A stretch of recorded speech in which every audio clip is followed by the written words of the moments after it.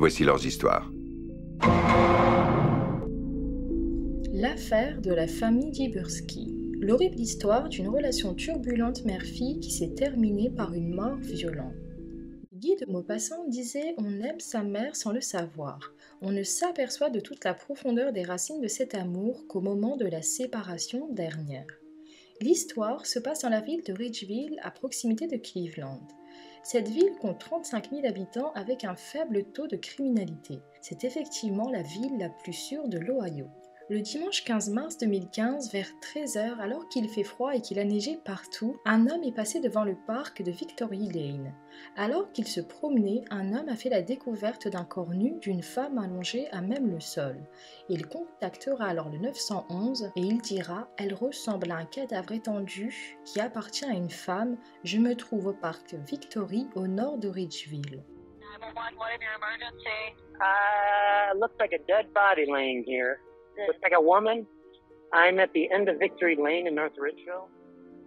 Lors de l'inspection par les autorités, il semble évident que la victime avait reçu un coup fort à la tête et avait eu un traumatisme crânien, et c'est ce qui semble être la cause du décès au vu de la perte de sang.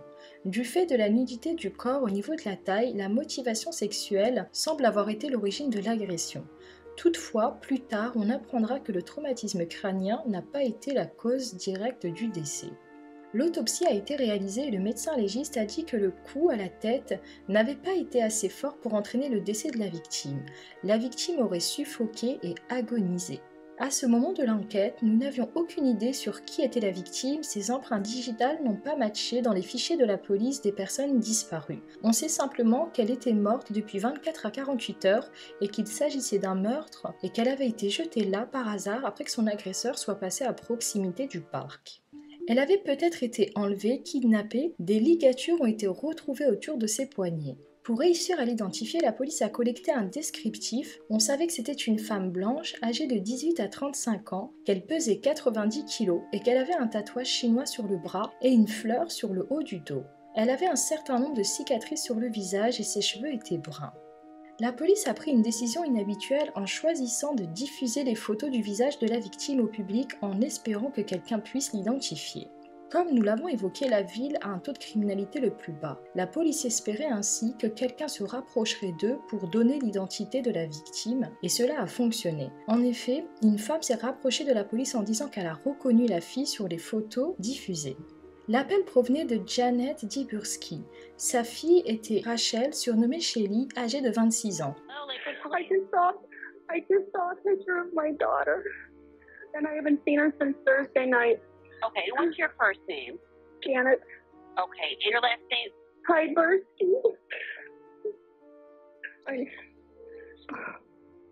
oh my God, Okay, it's okay. this is a nightmare. I'm sorry, what, what what's your daughter's first name? Elle est née en 1988. C'était la sœur aînée d'Anna et Megan, et ses parents étaient donc Janet et Daryl Tibursky. La famille a vécu une vie heureuse à Lakewood, à proximité de Richville. Mais en 1999, tout a basculé. En effet, le père qui conduisait tard dans la nuit a quitté l'autoroute et s'est écrasé contre une remorque de bateau. Il est mort sur le coup. Daryl le père avait été un joueur de football à l'université, puis un avocat à succès. Il avait une belle carrière devant lui, mais tout s'est arrêté. Janet est devenue mère au foyer et a consacré toute sa vie à l'éducation de ses filles. Elle voit alors les chemins de ses filles Anna et Shelly diverger. La mort de leur père, Daryl, a eu plus d'impact sur la vie de la sœur aînée Shelly que sur la sœur cadette. En effet, Anna a excellé en tant qu'étudiante et athlète de lycée. En 2015, elle était même inscrite à Oberlin College, une prestigieuse école d'art. Après la perte de son père alors qu'elle est âgée de 8 ans, la santé mentale de Shelly a commencé à décliner. Elle a reçu un diagnostic de trouble bipolaire. La relation de Shelly avec sa mère a subi de lourds dommages en raison de ses problèmes de santé mentale et du manque de soutien de sa mère. Shelly aurait également montré des comportements violents à des moments. La belle-mère de Janet, Danisia, a mentionné que Janet avait eu du mal à élever ses enfants après la mort de son mari dans un accident de voiture. Même si Anna et Janet avaient une relation cordiale mère-fille, on ne peut pas en dire autant de la relation de Janet avec Shelly. Shelly s'était enfuie de chez elle à deux reprises. Dans la vingtaine, Shelly a commencé à fréquenter un musicien qui était à la fin de la quarantaine. Il avait déjà un fils à l'époque. Tommy avait 20 ans de plus que Shelly.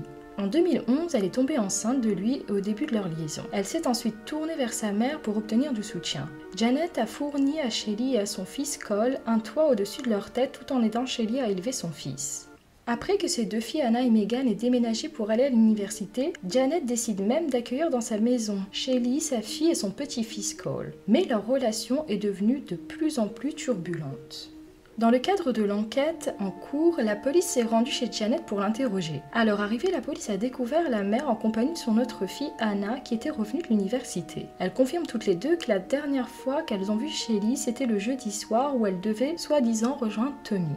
Janet dit qu'elle a entendu une voiture s'arrêter devant chez elle. Elle en a déduit que c'était Tommy qui était passé la récupérer. La police se demande alors pourquoi la mère n'a pas déclaré la disparition de sa fille. À cela, la mère répondra comme elle avait pour habitude de fuguer sans prévenir et revenir, elle s'est dit qu'elle finirait bien par rentrer, jusqu'à ce qu'elle reconnaisse sa fille sur les photos diffusées par la police. La police a donc décidé de se rendre à Cleveland pour interroger Tommy. Mais il dit ne pas avoir parlé à Shelly depuis le jeudi soir. La dernière conversation avec elle datait du jeudi vers 20h30. Il dira Elle était censée m'appeler le lendemain, donc le vendredi matin, mais ne l'a jamais fait. La police décide de recevoir seule Anna pour lui poser des questions. Ils lui disent qu'elle doit dire la vérité. Elle dit qu'elle n'a pas vu sa sœur du week-end. Et quand la police lui demande s'ils peuvent voir son téléphone portable, elle cède à la panique et demande à quitter la salle d'interrogatoire. La police la laisse donc Les policiers demandent alors un mandat de perquisition pour la voiture de Janet et découvrent du sang sur la porte. Ils réussissent à mettre la main sur les vidéos de surveillance entre la demeure familiale et l'endroit où a été retrouvée Shelly.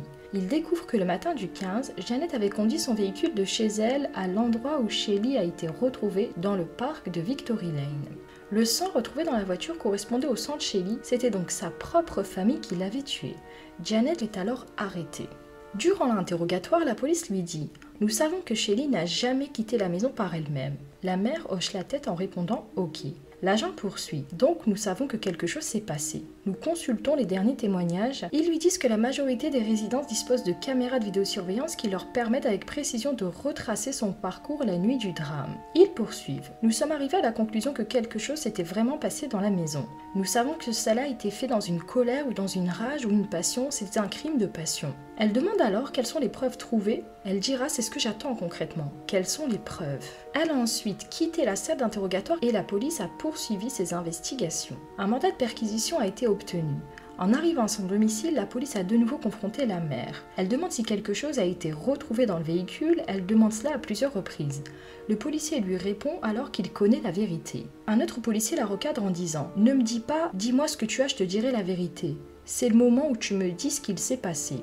Et de là, elle répond que c'est le moment pour elle d'aller de l'avant et de se confesser. Elle dit qu'elle pensait que la sécurité de son petit-fils Cole était en jeu. Je l'ai donc tué aux premières heures du vendredi 13. Elle poursuit en disant que Shelly délirait de plus en plus, qu'elle devenait violente ces derniers temps et qu'elle a pris peur pour le petit Cole.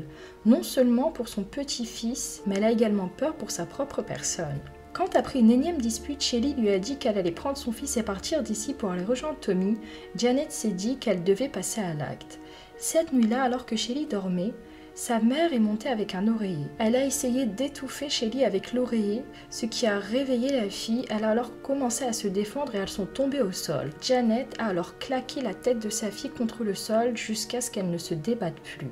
La police lui demande alors si après cela elle est restée éveillée ou elle est partie dormir, et elle a répondu qu'elle était partie dormir. Le lendemain, Janet a contacté son autre fille Anna et lui a demandé de rentrer immédiatement à la maison. Puis, une fois sur place, elle lui raconte tout et l'oblige à l'aider à déplacer le corps de sa sœur. Anna est de nouveau interrogée et se met à table. Elle dit qu'à son arrivée régnait le chaos dans la maison. Ma mère était troublée, je ne pouvais pas la laisser comme ça. Janet a passé un coup de fil à sa fille pour lui dire qu'elle a tout avoué et qu'elle est désolée de l'avoir impliquée. À son procès, elle apparaît sans émotion alors qu'elle a étouffé sa fille à mort le vendredi 13 mars. Elle a osé dire qu'elle avait fait cela dans le cadre de la légitime défense car Shelly l'avait bloquée dans un coin et que face à sa violence, elle n'avait pas d'autre choix que la tuer. L'enquête a démontré que Janet ne travaillait pas, qu'elle était endettée. Sa maison allait être saisie par la banque et elle recevait plusieurs courriers de relance pour le paiement de ses échéances de prêt. On apprendra qu'elle avait en fait souscrit une assurance vie sur la tête de sa fille. L'autre sœur n'était pas au courant. En avril 2017, Janet a pris un accord de plaidoyer en échange des accusations de meurtre aggravé. Elle a été condamnée à 19 ans de prison après avoir plaidé coupable à un chef d'accusation d'abus de cadavre, d'un chef d'accusation d'altération de preuves et des deux chefs d'accusation d'agression et de meurtre. Actuellement, Janet purge sa peine dans la prison du comté de Lorraine. Anna, la fille, a été accusée de recel de cadavres, ce dont elle a par la suite plaidé coupable. En avril 2017, Anna a reçu l'ordre de payer une amende de 750 dollars et sa peine de prison de 90 jours a été suspendue par le juge statuant sur son affaire la mère a non seulement étouffé sa fille qui souffrait de troubles bipolaires, et en plus de cela, elle a enrôlé sa seconde fille pour l'aider à se débarrasser du corps.